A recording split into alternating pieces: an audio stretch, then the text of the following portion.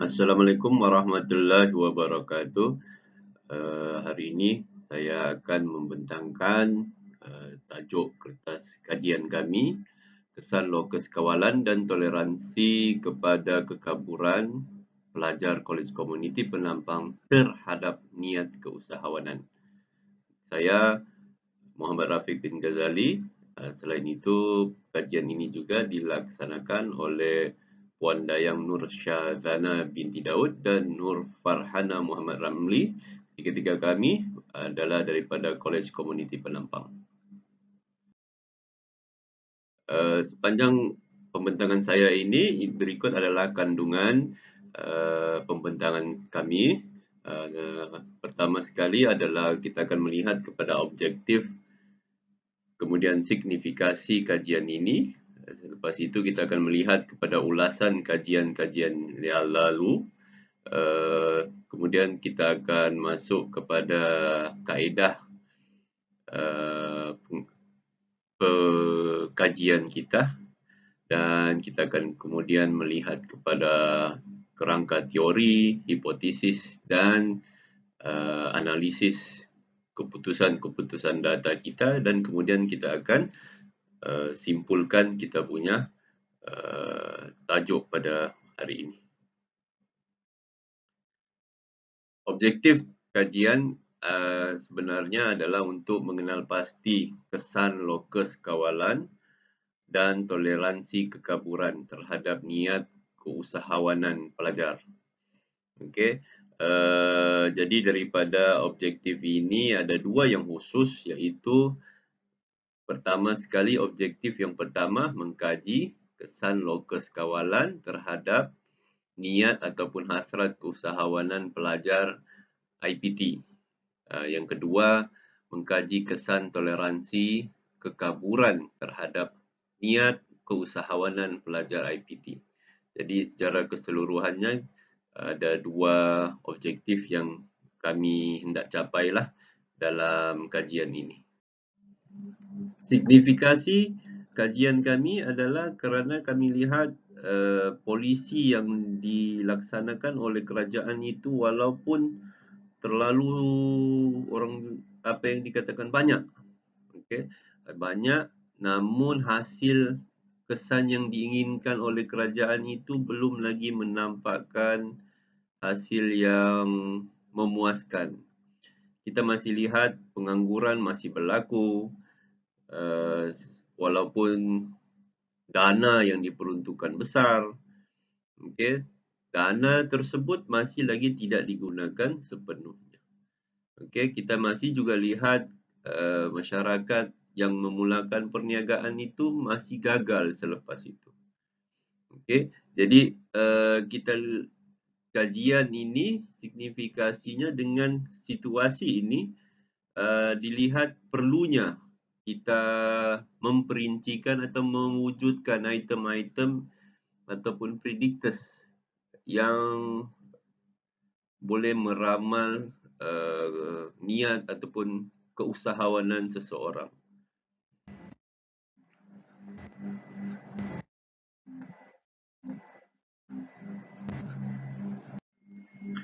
Berikut adalah kajian-kajian lalu Uh, terhadap item yang kami gunakan untuk kajian kami uh, Alcoff Hilton uh, mendapati adanya hubungan yang positif di antara lokus kawalan dengan niat keusahawanan. Okey, lokus kawalan kalau mengikut AUNA 2020 uh, dia boleh membentuk efikasi kendiri individu. Kemudian efikasi individu ini uh, efikasi kendiri individu ini dilihat boleh meningkatkan niat untuk melaksanakan aktiviti keusahawanan.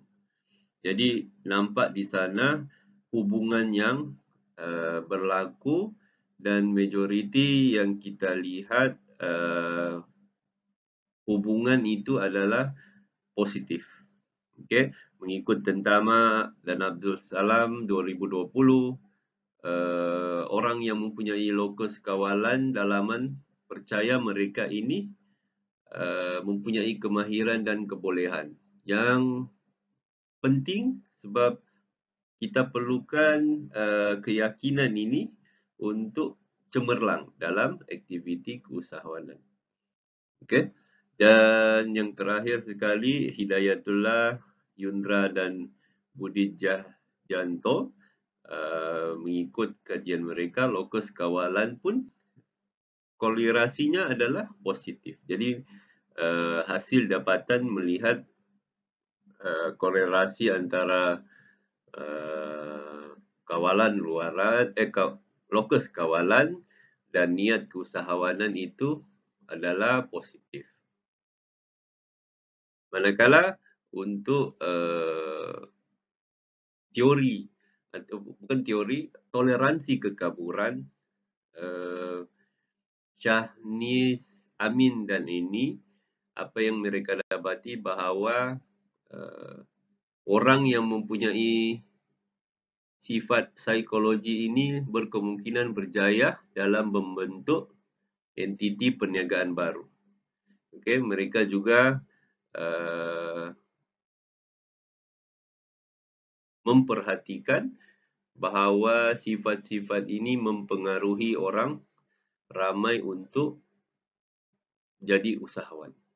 Okey, kara bulut uh, mengikut kara bulut pula toleransi adalah sifat kritikal yang mempengaruhi niat keusahawanan orang ramai.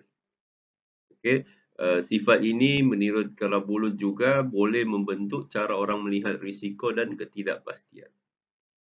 Okey, jadi individu yang punya niat keusahawanan harus memaparkan tahap orientasi risiko yang tertentu.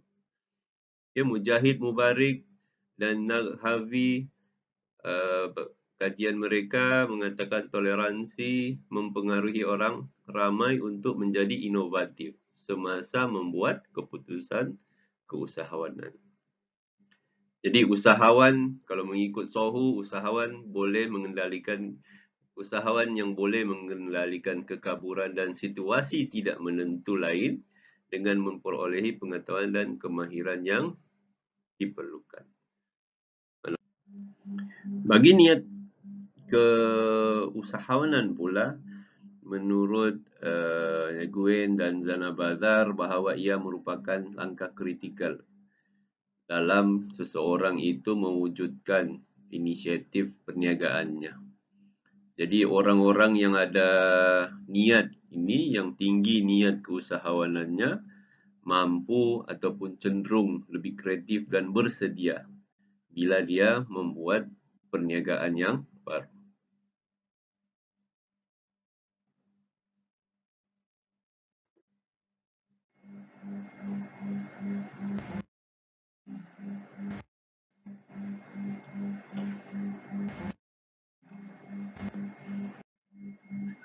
Kajian kami uh, menggunakan responden daripada Kolej Komuniti Penampang. Uh, jumlah Kolej Komuniti Penampang punya pelajar adalah 135 orang. Uh, berdasarkan Crazy and Morgan, kita memerlukan sampel sebanyak 103. Uh, respon yang kita telah perolehi adalah 110 dan majoriti bukan majoriti lah mereka adalah pelajar. Dari program College Community ada dua uh, penampang ada dua program sahaja. Satu pengoperasian perniagaan yang itu dalam bidang uh, perniaga keusahawanan perniagaan. Manakala yang satu lagi adalah sijil teknologi sini bina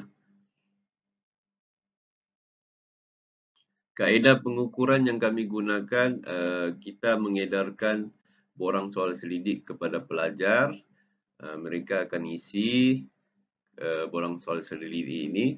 Borang soal selidik ini terbahagi kepada empat bahagian. Uh, bahagian A, demografi.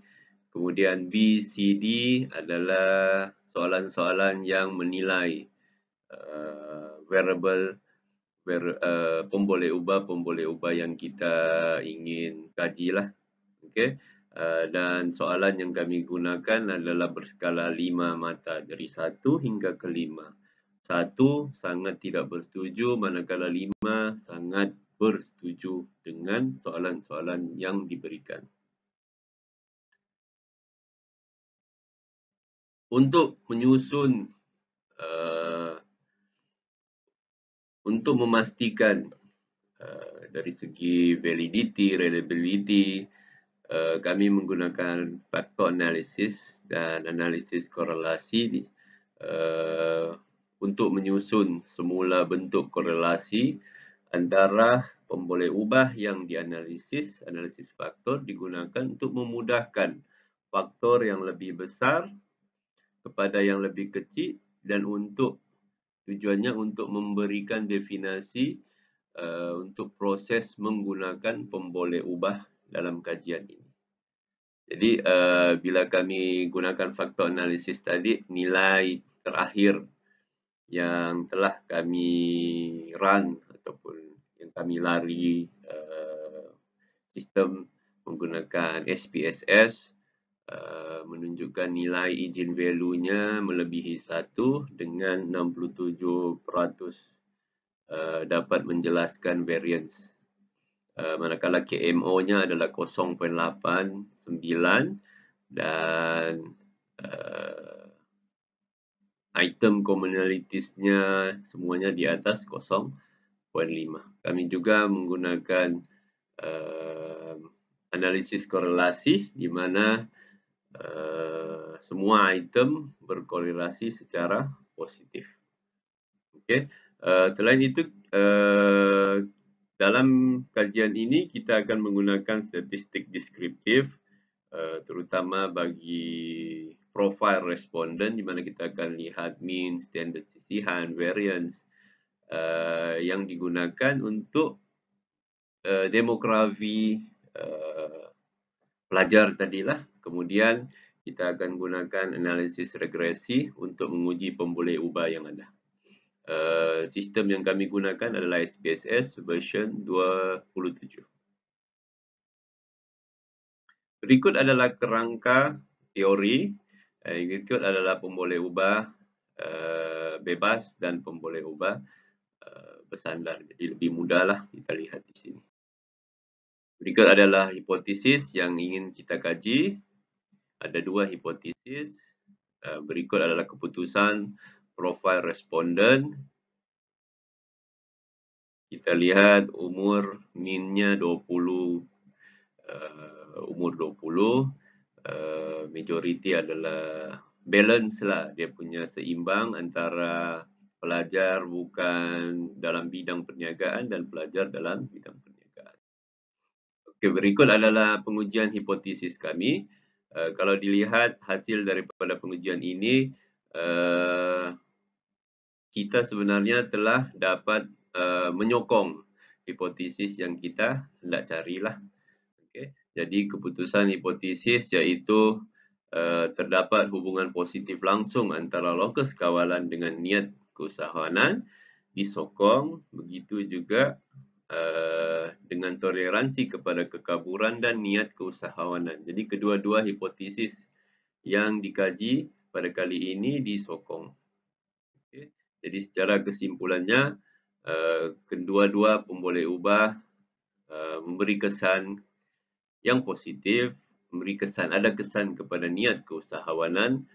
Uh, kajian ini uh, dapat membantu uh, untuk kita memberi maklumat kepada uh, faktor-faktor uh, yang menentukan kerjaya graduan sebagai usahawan. Begitu juga kajian ini uh, diharapkan dapat memberi maklumat kepada institusi ataupun kerajaan untuk melihat ciri-cirinya supaya mereka dapat memberi lebih galakan kepada graduan menyertai bidang keusahawanan ini dan seterusnya pada akhirnya uh, mengurangkan apa yang kita namakan pengangguran.